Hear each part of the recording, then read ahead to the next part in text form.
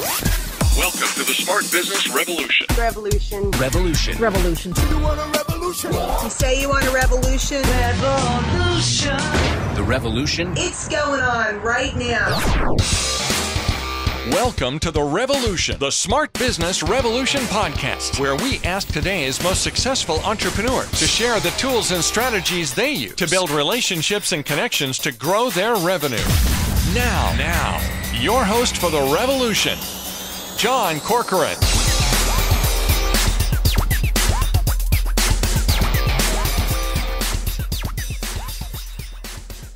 All right, welcome everyone. John Corcoran here. I am the host of this show, and you know every week I get to talk to smart CEOs, founders, entrepreneurs of all kinds of companies and organizations, ranging from you know Netflix to Kinkos, YPO, EO, Activision Blizzard, Lending Tree, Open Table, Act Software, and many more. I'm also the co-founder of Rise25, where we help connect B2B business owners to their ideal prospects. And my guest this week is Eden Gillott, and she is a crisis communications expert. She's been called the dumpster fire fixer, which I just absolutely love that d- description. How memorable is that? She runs a strategic communications firm that manages the optics and messaging both in and outside of the media's glare, from celebrity scandals and corporate fraud to criminal and civil litigation. And she works with business owners, board members, and attorneys to tell their side of the story when the proverbial SHIT is hitting the fan. She's written three books on crisis management and also done TEDx talks.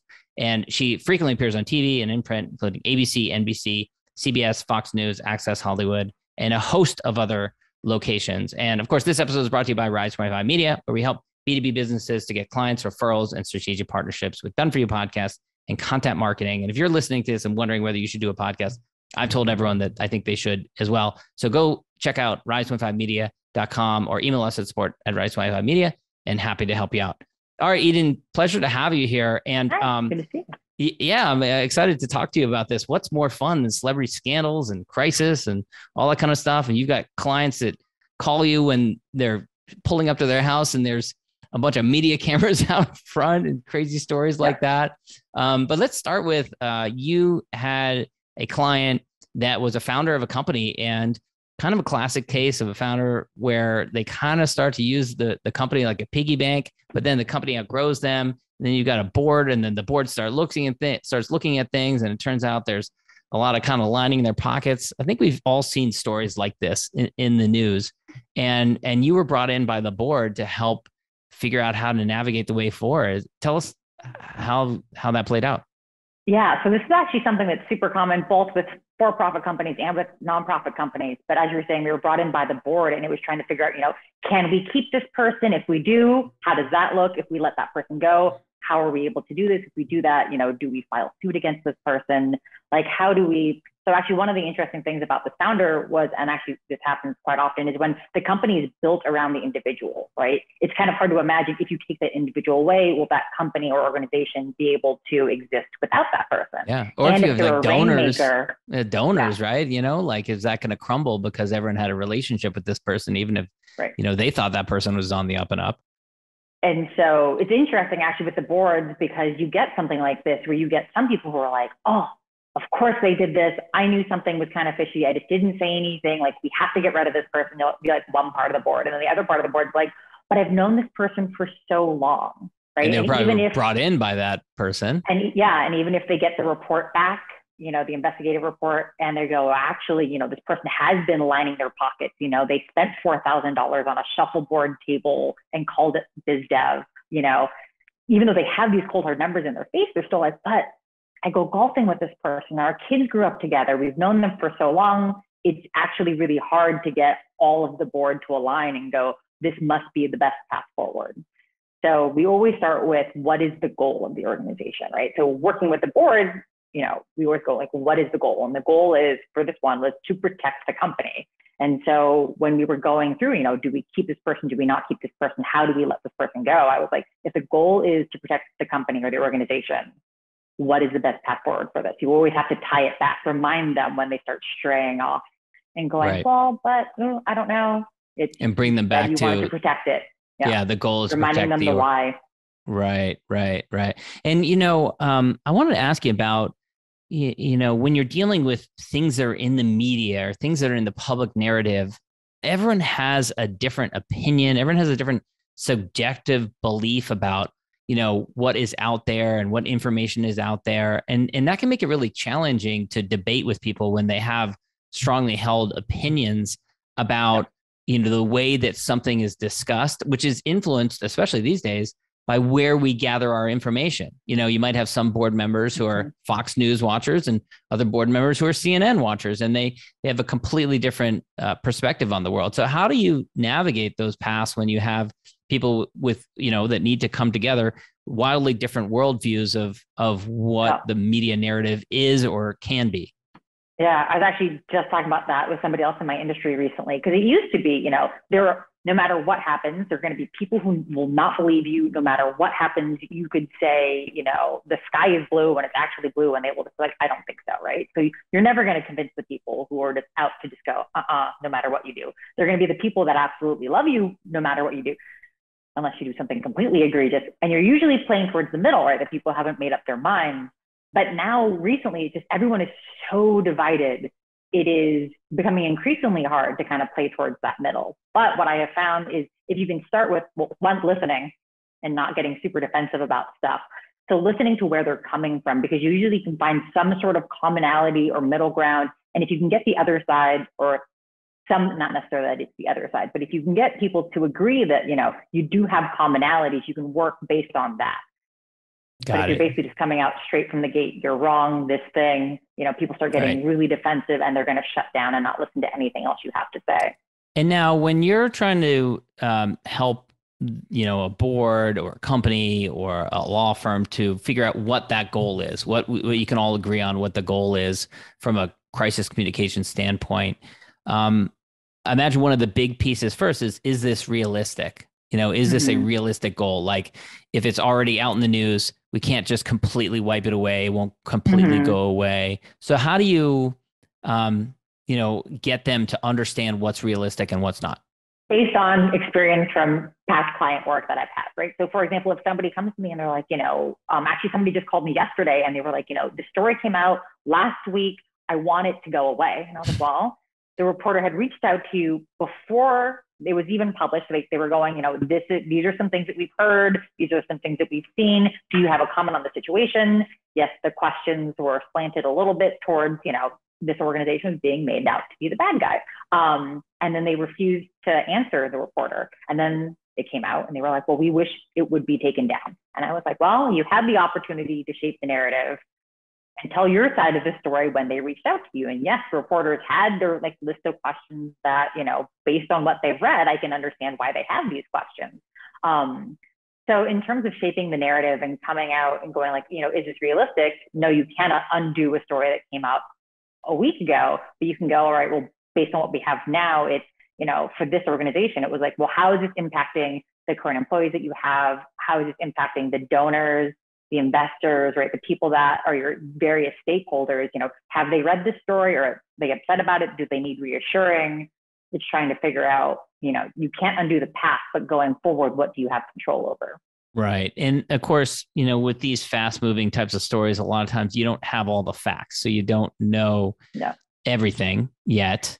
Um, how do you navigate those waters when you have a story that's unfolding and you want to get information out there, but you don't have all Yeah. the facts? Yeah. So it's it's reminding the client that, or not necessarily reminding them, but working with them and going, okay, right? So you want to keep people informed. You don't want to have an information void because when you do, people just start filling it in with their own thoughts and opinions and speculation. You know, you want to make sure it's based on the facts. And sometimes when crises do hit, there are things that you don't actually know what the answers are to everything, and that's okay.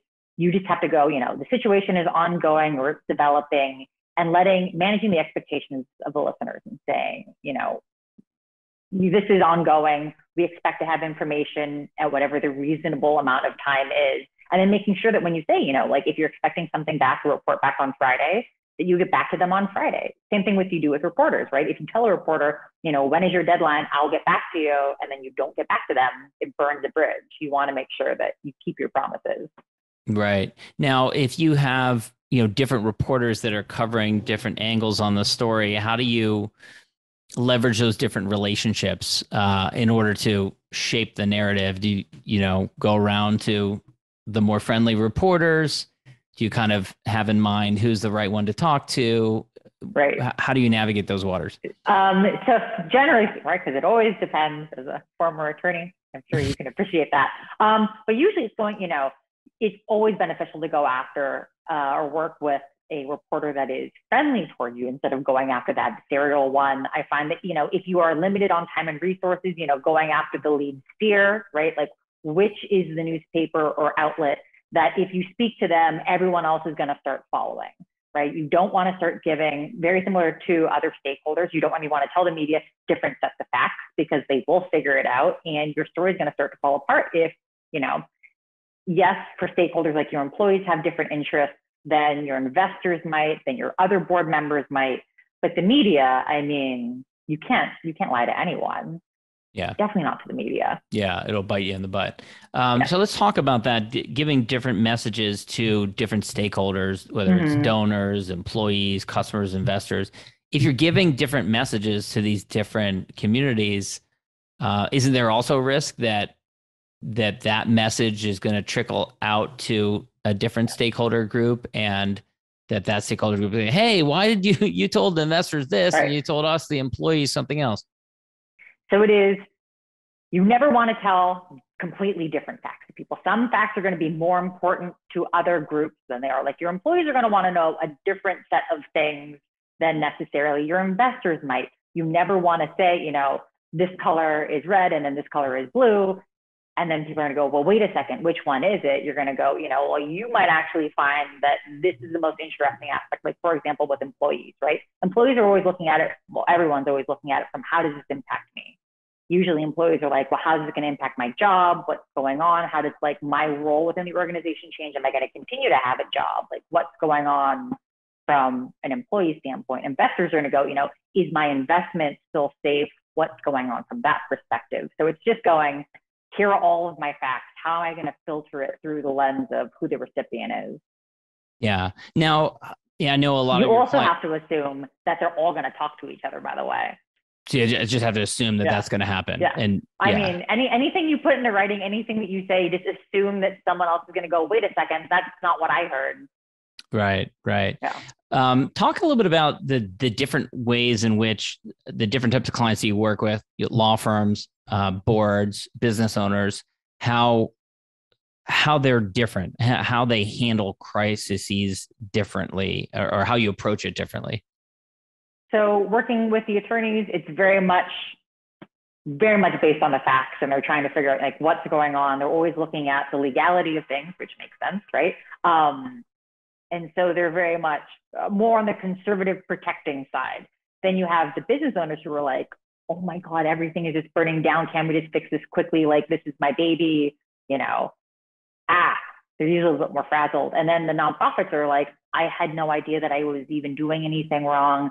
I can, someone please help me, like walk me through it. Like the board members and nonprofits really want to be walked through the entire process. They want to understand how they got there and hopefully never have it happen again. The business owners are like, to stop the bleeding now. I don't really care how you do it. Just do the thing. Maybe you can tell me about it later. And the attorneys are like, well, let's like protect ourselves legally. How are we going forward with this? Right, right. Now, if if I'm a business owner listening to this, you know, the obvious advice is kind of be on the straight and narrow, right? like don't do anything that you wouldn't want to. I remember when I went to work at the White House, I remember this was the advice they gave us um, when I first interned there was Mhm. don't ever write or say or do anything that you wouldn't want to see in the front page of the New York Times. Yeah. And it's kind of good advice that I have been following my entire career.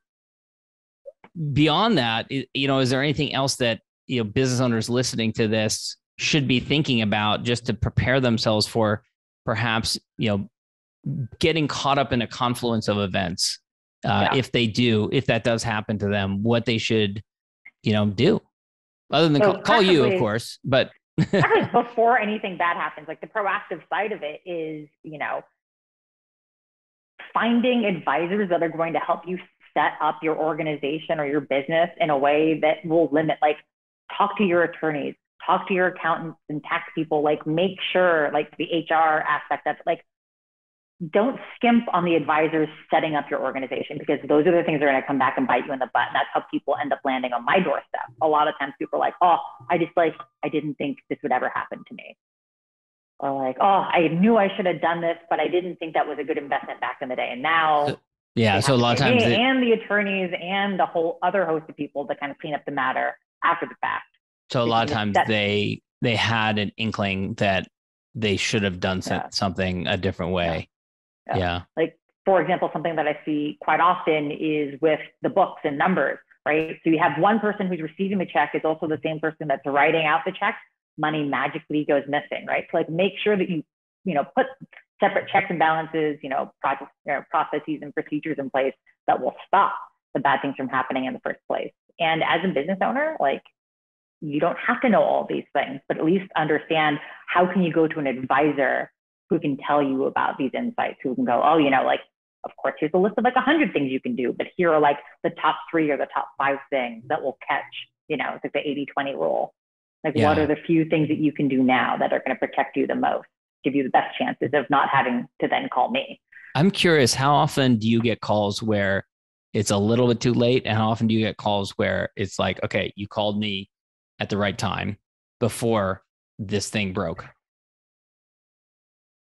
Most people wait. It's it's kind of like going to the doctor where you're like, oh, this is kind of like a pain. I don't really know. I, I think I'm gonna get better, and then it gets to that point where you're like, oh no, and you end up in the ER. Mm. Um, most of the time, clients will come to me and they are like, something bad has already happened, or something bad is like starting to happen. They knew it was going to be happening, and they're like, well, we were kind of hoping the tide wouldn't turn too much, but now it's getting to the point where we're like, oh, we really don't handle this properly right this second. How Yeah, often Usually, it's and, and how often and is Mondays are really busy for me. yeah, I imagine. Yeah. We had a board member who was picked up for a DUI. I imagine a lot of those on Mondays. Um, did, and then how often do you um, do you get pushback from people who are like, oh, we can't hire a crisis communications person because that's gonna that's gonna make it worse. I actually don't get too much pushback. But one of the interesting things about hiring the crisis communications person is a lot of times, like I am hiding behind the scenes. People have no idea I'm around except for, you know, the attorney that I'm working with and then, you know, the board that's hired me, whoever's like in that inner circle. Um, because the last thing you want to do is see, see me on an email when you're trying to say, there's nothing really to see here. um, I, yeah, it was, it was something that I was kind of like joked about with people. And then I had explained to everyone that I was working with in my inner circle team, right? We were working with the attorney and then they had passed along the, the talking points for a reporter. And then I ended up being CC'd on something to the Hollywood Reporter. And I'm like, now they know who I am. Why am I CC'd on this email? It's funny, you know, you were you were saying beforehand before we started this interview, you know, that um, you've had clients where you know they call up and and they say like the the media is outside of my house. What should I do? And your the advice is rather practical. It's don't go home.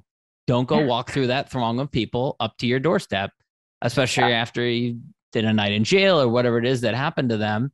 And you know, and then Mhm. this advice, you know, like BCC me, don't CC me, so that Yeah. you they don't know I'm or like, don't even DCC me. Just let me forward me the thing later or just be like, Eden, it was done. I'll be like, thank you. Yeah, yeah. Yeah. So how often is it, it uh, you know, does that come up where it's uh, the advice is really pragmatic and practical? It's it's like the you know, don't show up at home, don't BCC me. You take these practical steps. I think, well, it's interesting because so I grew up with these certain set of skills that were ingrained in me because my father taught me these skills, and I just kind of assumed that everyone had this knowledge. And apparently, it's what I think is practical is not practical for a lot of other people. Um, but even what you might think is common sense today, you know, if a crisis hits tomorrow, your brain just is all over the place. So all the things that like may have been what you would have normally considered in a time of crisis, I mean, all hell breaks loose. You can't Right. count on, you know, anything other. People forget to breathe sometimes, right? A lot of times for crisis related stuff, I'm like, don't run out and just start saying a bunch of things. Take a moment, take a breath, just calm yourself down before you start doing a bunch of things. Yeah. Well, come, sometimes it, it's you forget. Yeah, I mean, oftentimes I think we forget about this, but you know, to give a really old example from about 20 years ago, before 9/11 happened, which obviously is the biggest story of last 20 years or so, but the the summer before that, was the the Gary Condit scandal, and the and I don't know if people remember that, but was, he was a member of Congress, and and um, is this huge news story, and it was like all people were focusing on, um, and, and you know, and then and then it went away because obviously some um, you know a much bigger important um, world event happened, but you frequently see that where there is one news story that dominates the headlines and then something Mhm. else happens and then that one is kind of forgotten about. So is is that for you often the case where um, you're advising your clients give it a little time or something else will come along and it, it'll go away if you give it some time There is some advising about like just give it some time, but generally the advice is, you know, figure out who's the most important people or person to you and like make sure you tell your side of the story. You talk to them, like pick up the phone and call them. Don't email them if you don't have to. Um, and have a conversation with them, even if it's like, you know, briefly to explain what happened and say, do you have any questions? You know, in terms of like the media cycle, it is, you know, after you've, you know, if you've done something wrong, like after you acknowledge that, you know, you did something wrong, you were sorry, this is what you're doing to fix it, you know, sometimes you do have to just lay low. And, you know, if it is in the media, hopefully things will just kind of die down after a while. Somebody else will do something that will draw attention away from you. But even if it's not in the media, I mean, you know, if we're working with some individuals or companies, like for example, we were working with a company and their biggest client was Disney. And yes, it did hit the news a little bit, but I was like, I don't even care if this is a one and done story. If your biggest client is Disney, I'm like, you pick up the phone and you call your rep at Disney and you explain to them, we understand what's going on. This is what we're doing to fix it. This is how we're going to make sure it never happens again. Like, what can we do to make sure that, you Yeah. know, you, Disney, are protected? yeah And it was actually interesting because we actually got on a big Zoom call with all the people and the head of the communications department at that department in Disney was like, Eden, you did an excellent job. Like, thank you so much for making my job at Disney easier by protecting and looking out for us. That's great. Welcome. Yeah, it's great feedback. Um, what about um, social media? Yeah, how is that Mhm. changing the game these days? You know, it's it's easier than ever for something to bubble up, go viral, so to speak. It's also easier for people to respond to stories because they can tweet something out. You can record a video and upload it to YouTube. How is social media affecting crisis communications? Oh man, it is it is really sped up everything. And one of the big things that I've noticed is it's making it so much easier for reporters to find people within a company and pick off employees and go, hey, do you have any comments about this or what's going on? And there are employees who will love their 15 minutes of fame. And if you don't explain to the organization, you know, all of your employees the importance of a unified message, will they will run off and they will talk to reporters. And usually reporters will find them on social media. Mm, yeah. Wow. And any other um, ramifications of social media?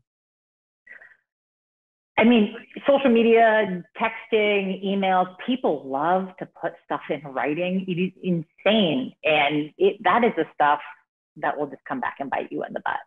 Yeah. And it's crazy for, you know, you, sometimes it's, it could be a really large company that has thousands of employees Mhm. and completely unanticipated. They hire a new, I don't know, CFO, new CEO. And it turns out three years ago, they tweeted some, you know, derogatory comment that in today's, uh, you know, landscape is, is now viewed in a different light. That sort of thing. You see that a lot in the news these days.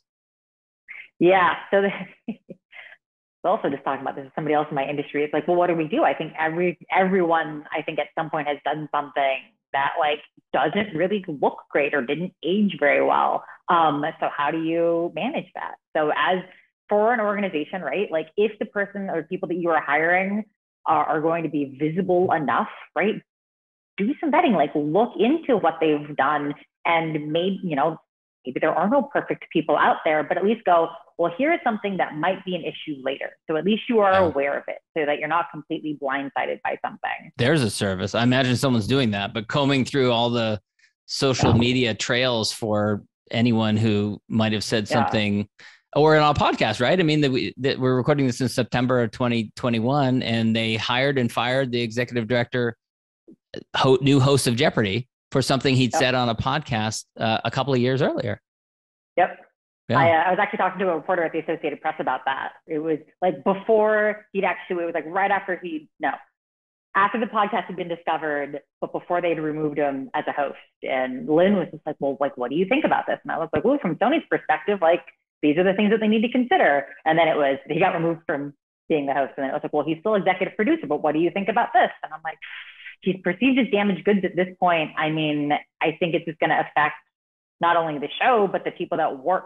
The sad thing is they waited so long that it started impacting not only the audience, but the people that actually worked on the show. Yeah, I mean, I, I didn't follow too closely, but I imagine, yeah, culturally, they people probably were really dismayed by it. I don't know if there were Mhm. people that were walking out or quitting in the interim, but I guess the learnings from that situation then, It's, make your decisions quickly. yeah, yeah, I mean, yes, they should be based on fact. You shouldn't be acting hastily, but yeah, yeah. Make your decisions quickly. That's great. Um, all right, wrapping things up. You know, I'm a, I'm a big fan of gratitude. I'm a big fan of expressing gratitude, especially to peers and contemporaries, others in your industry. You've mentioned a few of them there. You mentioned your father. Who do you respect? Who do you admire that's out there doing good work? there. So this is. I was thinking about that. I actually I wrote a list, a long list of people. Wow, there's a Um, lot of names on that list. and and some of these things are like organizations that encapsulate a bunch of different people. Um, it's like a love letter to EO. We were talking about entrepreneurs organization. Like I just I love being surrounded by other entrepreneurs and business owners. They are amazing. I love other people that are in the field of public relations, whether it's on the crisis side or on the marketing side, who just understand what's going on.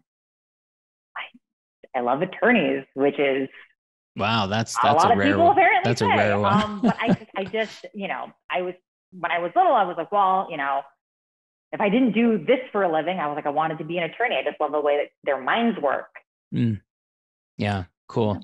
Eden, this has been great. Um, where can people go to connect with you and learn more about the work that you do?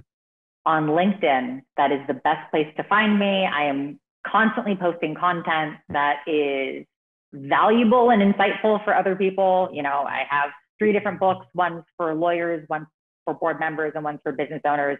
So my content is just whether you're a lawyer, a board member, or a business owner, maybe you could be all three actually. You have content that will speak to you. Excellent. All right, Eden, thanks so much. Thank you for listening to the Smart Business Revolution podcast with John Corcoran.